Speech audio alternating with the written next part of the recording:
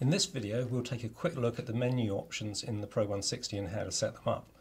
To make it easier to show we'll use the optional display adapter board. To access the menu press and hold select and switch the Pro 160 on. In the first level of the menu you can set, edit, save and quit.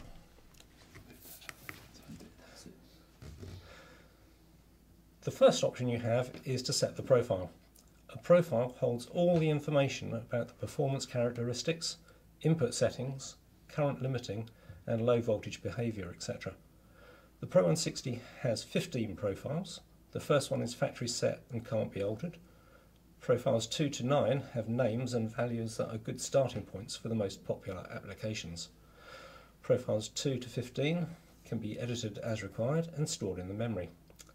With set profile showing, press select and then use the up and down buttons to select the profile required. Once you have the number you want, press select. Now we need to go to edit the profile. We'll press select and now we can see that the, the parameters are arranged into five groups. Forward settings, reverse settings, general settings, input configuration and advanced. You can step through the groups using the up and down buttons. Let's take a look at the forward settings group. With forward settings showing, press select and you will now be able to cycle through the forward acceleration ramp, the deceleration ramp, the maximum PWM level and the regen current limit. To adjust the forward acceleration ramp, ramp time, press select. You will see a number between 1 and 300. This is the time it takes for the controller to go from 0 to full speed, measured in one tenths of a second. So 5 equals half a second. Use the up down button to set the time that you want and then use the select button to capture the new value and move back to the group level. The deceleration ramp is the time it takes for the controller to ramp down from full speed to zero after the throttle is closed. Again, we can change this using the up and down buttons and capture the value with the select key. The maximum PWM level sets the maximum output that the controller is allowed to give. A setting of 50% means that with a 24 volt battery the maximum output from the controller will be 12 volts. The regen limit sets the maximum regenerative braking current that the controller will allow to occur. The default setting is close to the maximum current that the controller is rated for. This gives maximum braking force when the throttle is closed. If this value is reduced to 1, then minimum regen braking will occur.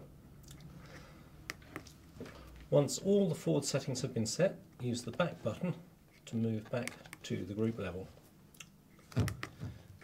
The reverse settings group is the same as the forward settings group, but for the opposite direction. This means that you can have very different behaviour between forward and reverse. Now let's take a look at the general settings group. In here you can set a maximum current limit This can be anything up to the maximum current that the controller is rated for. You can also turn the reverse beep on and off. This is where the low battery behaviour can be set. First, press select and you can now set the voltage at which the low battery warning is given. When the battery voltage falls to this level the Pro 160 will reduce its maximum PWM level by 50%. You can also adjust the cutoff level. When the battery falls to this voltage, the Pro 160 will shut down. These voltages are measured in tenths of a volt and are accurate to about a tenth of a volt as well. If you want to use this feature with lithium polymer batteries, it's a good idea to calibrate these values.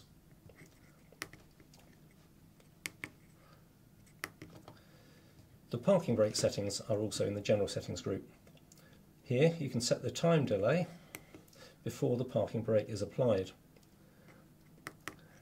And you can also set the PWM threshold that must be reached before the parking brake is released. The last item in the general settings group is the alternate profile. This is a really useful setting that can be used in conjunction with the Alt-P input in the Pro 160 to quickly switch between two different profiles without having to use the programmer. For example, the alter alternate profile for profile 2 is profile 3. So if the Alt-P input is connected to ground, the controller will change from profile 2 to profile 3 the next time it is started up. Now let's move on to the next group in the menu, which is the input configuration group. Item 1 in this group is the input mode. Here you can choose between pot, radio control or voltage input. Item 2 allows you to turn joystick mode on or off. Item 3 is the controller deadband. This is the amount of input that is required before the controller starts its output. Item 4 is the pot learn function. This is where you can teach the Pro 160 the three pot positions at which zero speed, full ahead and full reverse speed occur. To use this function, press select and active and set active to show yes.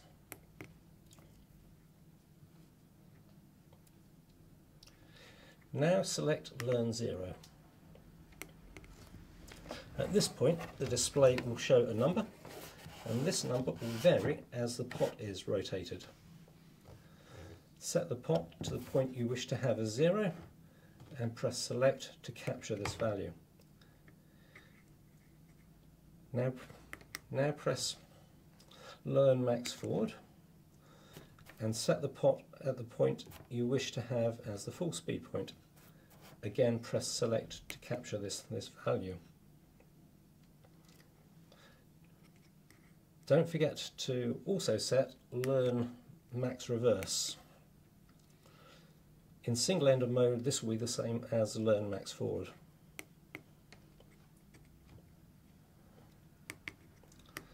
RC Learn works in the same way as PotLearn, but uses the RC input as the source for learning. If you're using a voltage input, use PotLearn to set the required values. Item 7 in the input configuration group is the lockout level. High pot lockout prevents the Pro 160 from giving an output if it is switched on with the throttle not at zero. This operates across all inputs and modes, and this setting defines the throttle percentage above which lockout occurs lockout is disabled in Volt mode.